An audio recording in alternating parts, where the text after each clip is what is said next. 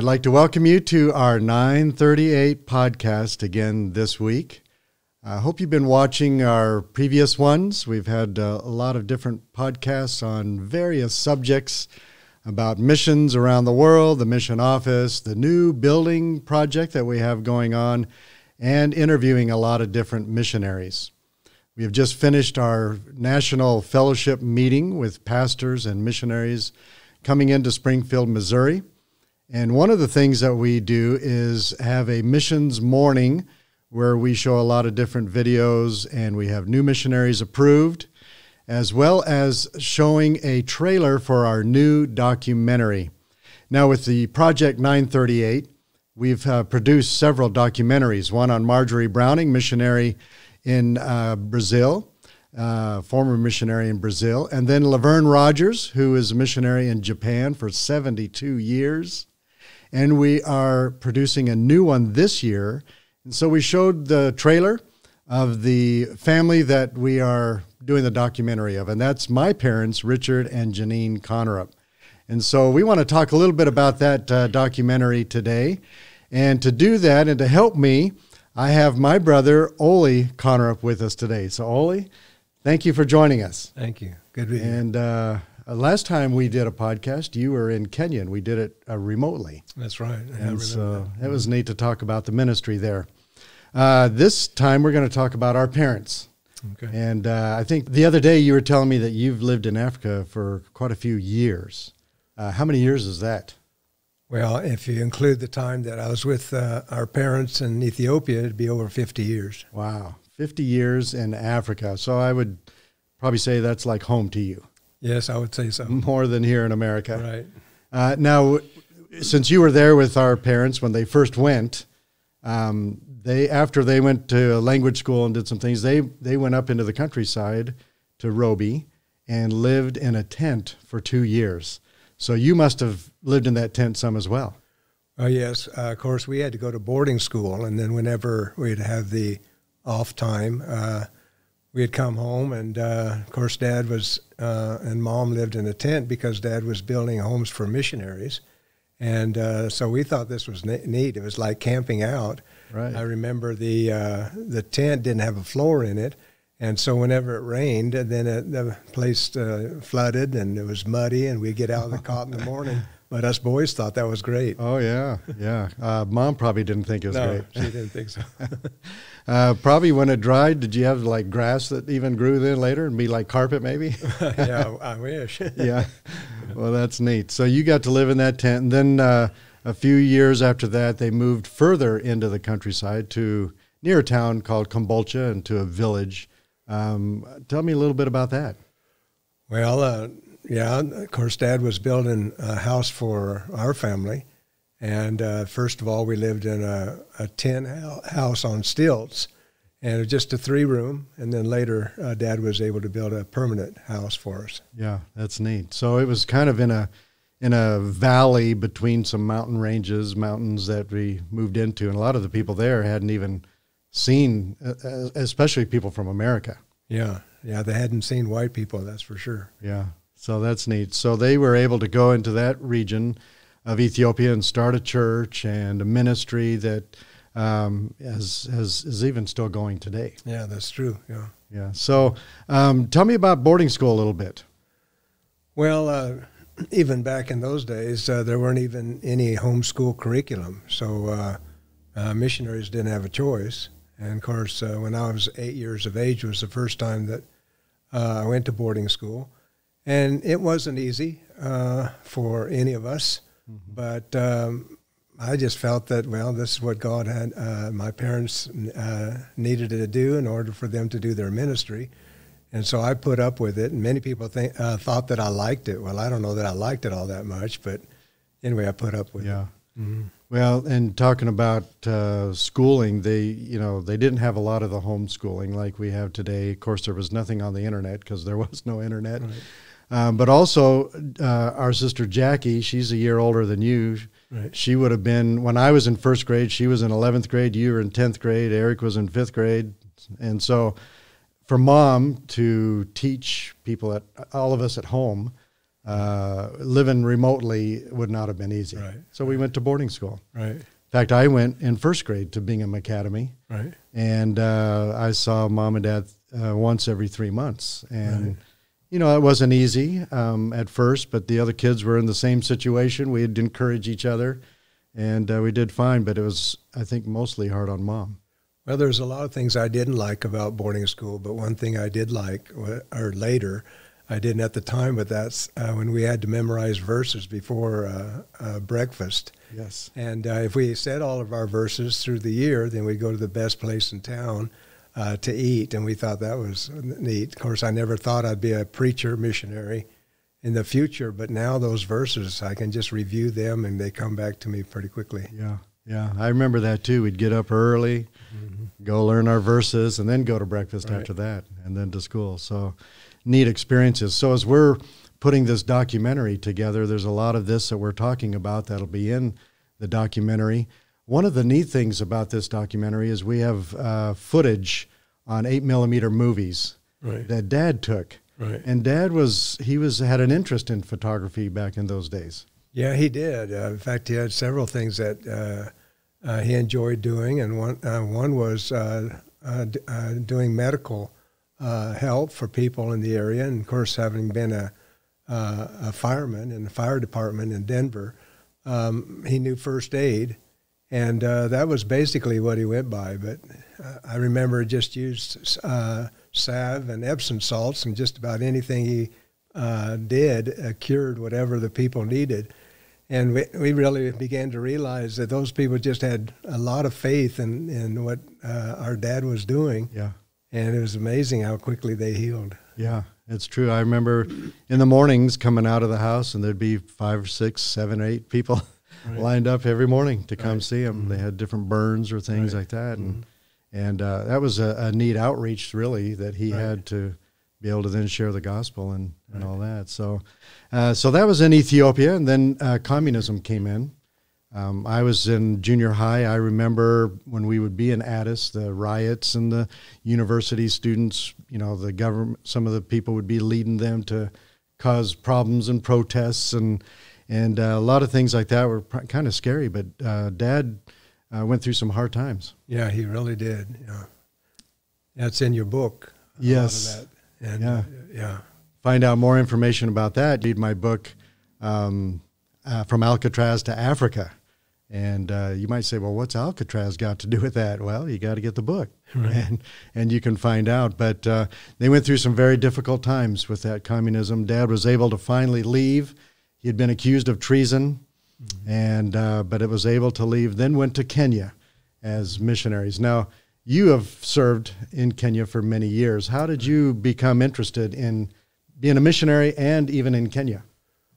Well, when I was at uh, in college here at uh, BBC in Springfield, Missouri, um, I I just knew God called me to preach, but I didn't know in what area, and uh, so I took the missions course, being a missionary kid, and uh, and then I figured if God called me to be a missionary, then yeah, I'd have had I'd finished that course.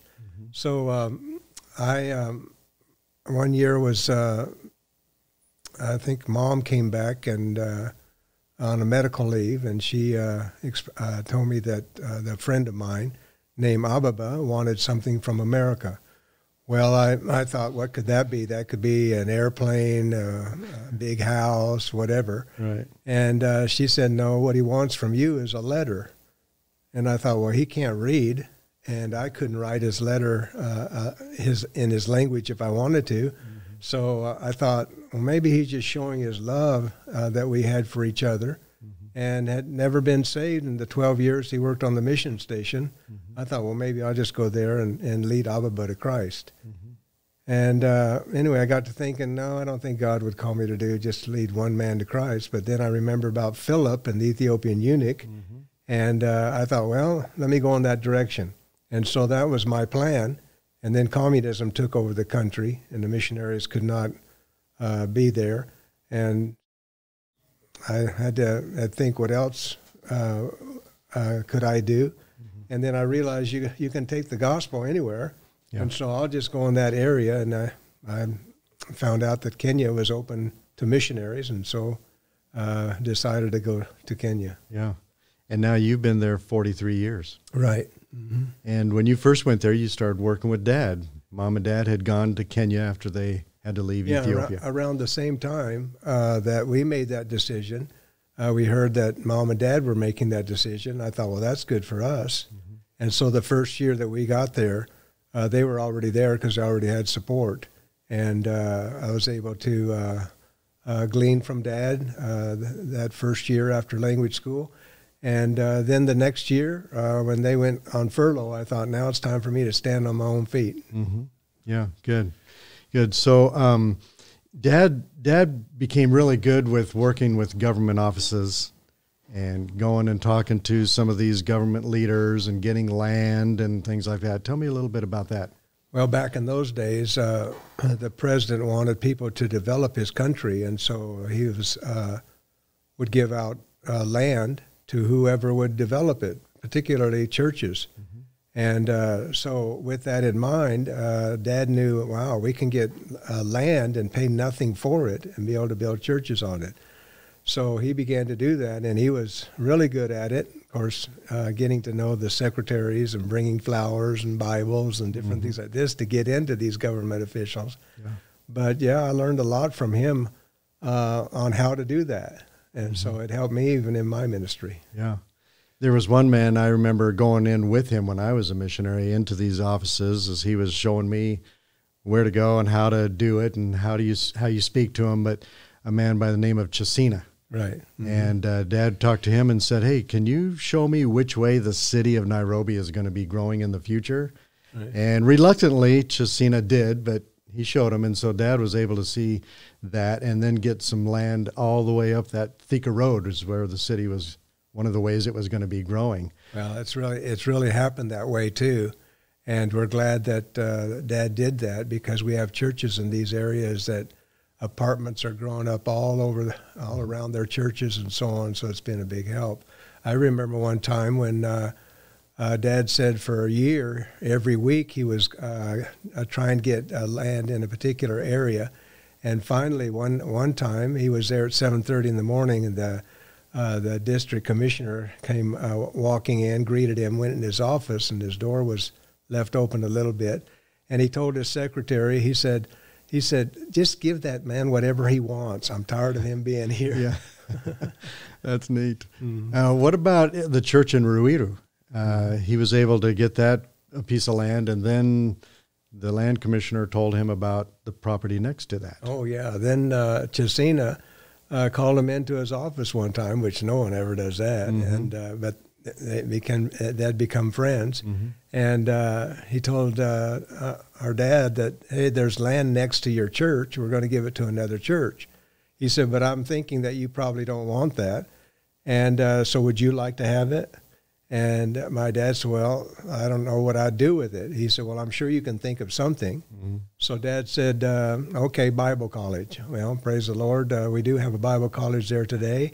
And uh, we just had our 30th anniversary. And of course, we had you there yes. Uh, to speak for uh, our anniversary and the charge to our 10 students that got their Bachelor of Arts degrees that time. Wow, that's neat. Yeah. So dad w- learned to work with the government leaders. He um, was able even to go and get some work permits for missionaries. Mm-hmm. I think he enjoyed some of that kind of thing, actually, oh, yeah, that most right. people don't. Right. But I remember he was able to get some uh, work permits for missionaries in the day when he was there in 10 minutes. Yeah. And uh, that's unheard of. Right. Yeah. And even today, it's not that easy. Right. No. And so he did a lot of that besides church planning, but he also spent a lot of time training leaders. He understood the importance of of training them so that they could then be uh, ministers to their own people. Well, that was his vision, and, and that's what happened with the Bible College. And today, uh, over 90 uh, students uh,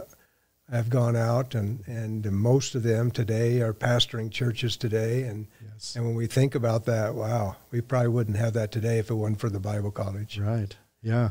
In fact, even back in Ethiopia, he understood training leaders so oh, that yeah. whenever the difficult times would come, they could continue on. Right. Yeah. And and that's what happened. Yeah. And so I, through the efforts of our missionaries and now national pastors and leaders in Kenya, there's Uh, how many churches uh, roughly in Kenya? Well, I remember when I first got there, and I I looked around and talked with missionaries, and came up with maybe a hundred uh, churches. Well, nowadays there's over a thousand. Uh, we do have a directory of 750 wow. that we've identified that uh, with uh, the names and the names of the pastors and their contacts. Yes. And of course, this is a help for our uh, missionaries and future Kenyan missionaries that they'll be able to know who to go and contact to raise their support. Mm-hmm. That's neat. You know, we we are putting this documentary together, and it's still in process at this point.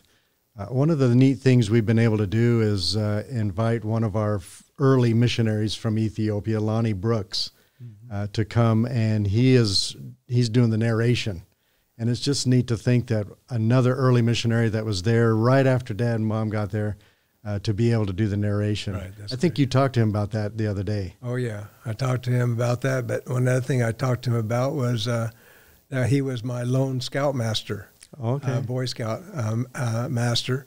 And uh, yet uh, we never did anything because we tried to get material for that and the Boy Scouts at that time said, well, we don't have a, a, a foreign curriculum mm-hmm. uh, or for foreigners.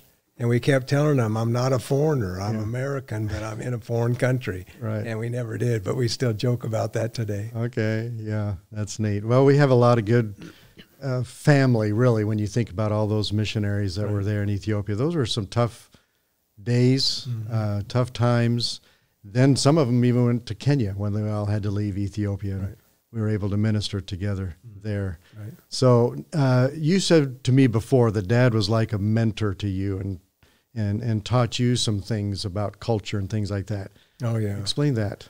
Well, when I first got to Kenya, I was very dog- dogmatic in many different things. And uh, he would uh, tell me, well, things are not just always the way you think they ought to be, and so on. And uh, tempered me a lot, and that was a big help to me.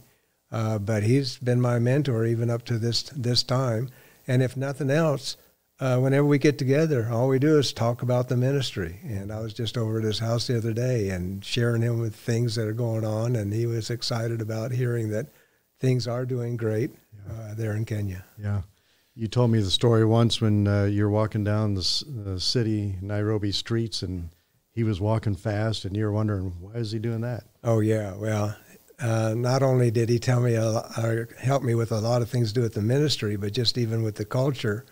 Um, I was uh, uh, walk, whenever I'd walk with him in town, he'd be walking really quickly, and I was thinking, why is he walking so fast? Yeah. Well, one time I was walking, just walking along, and then I realized he wasn't with me, and I turned around and looked, and he had someone bent over a car telling him, "Don't don't ever put your hand in my pocket again." And I'm thinking, "Oh, that's what he's talking about." Yeah. So he was going quickly so that people wouldn't steal his watch or right. steal from his pockets wow. and so on. Yeah, that's funny.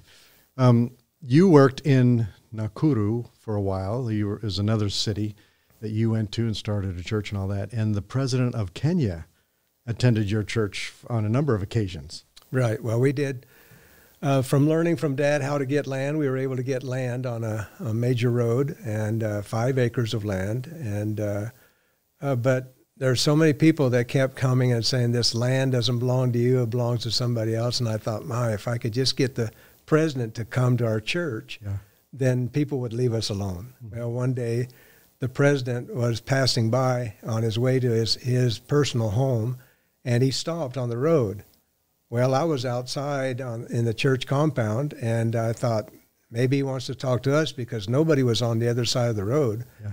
And so I went over there. By the time I got to uh, his vehicle, I mean, there was a crowd of people. The guards had gotten out and they'd stopped us from getting close to him and so on. But he kept calling for me, and so I told the guard, uh, His Excellency is calling for me. So he looked at, at the president and he realized he was calling for me, and so I went up to the uh, I was allowed to go and talk to him, and uh, the president asked me, "How come you're not building?" I said, "Well, we've been taken to court." He said, he looked at his driver. He said, "How can a church be taken to court?" and he goes, "Who's doing this?" Well, I had a list of about ten different government offices that were mm-hmm. giving me problems, and I, I just told him the neighbor, the Ministry of Livestock and Development. And uh, he said, Well, let me take care of this. And I said, Appreciate it. And then I, I guess I stepped out by faith and said to him, Well, we'd like you to come to our dedication service. We're planning on dedicating our church building here in August. Yeah. And he said, I'll see what I can do. Well, praise the Lord, he did come. And, uh, and we had a great service and, and so on. And for the next two years, he came 10 times. Mm-hmm. So wow. that really worked out great. That's neat. Yeah. That's neat. Uh, we could go on and on all day talking mm-hmm. stories and memories and things like that. And uh, but we're we're lo- thinking about this documentary that's coming out, and there's some stories that we haven't said that are going to be in that documentary. Right. Things that were pretty neat about how people came to know the Lord, but also just some of the difficulties and things that mom and dad went through. Um, that I think will be a, a, great challenge to people, and hopefully will encourage people to be missionaries. Right. Mm-hmm. So I want to thank you for joining us today as we talked about the uh, documentary, the 938 documentary, part of a docu series that we're putting together, and uh, of our parents, Richard and Janine Konnerup. And I sure hope that you will uh, be watching for it. For in, more information about it, you can go to our website, uh, project938.world. And there you'll be able to find all kinds of resources for uh, using the Project 938 in your church. There's videos from pastors, from national pastors, from missionaries. There's all kinds of graphics and things you can use to help promoting the 938 challenge. What is that challenge? We're challenging people to pray at 9:38 in the morning or 9:38 at night, patterned after Matthew chapter 9 verse 38 where Jesus said, Pray ye therefore the Lord of the harvest that he would send forth laborers into his harvest. That's what we need because the world is in desperate need of the gospel. They need Jesus Christ. And we have that story. We have th- uh, that gift of salvation to sh- tell people about. And so we hope that you'll go to that website, check it out, and then be waiting for this documentary that's going to be coming. It'll be available in September. And we hope you'll show it to your churches, watch it yourself, uh, share it with your family members. So, thank you for joining us in this episode of the 938 podcast. God bless you.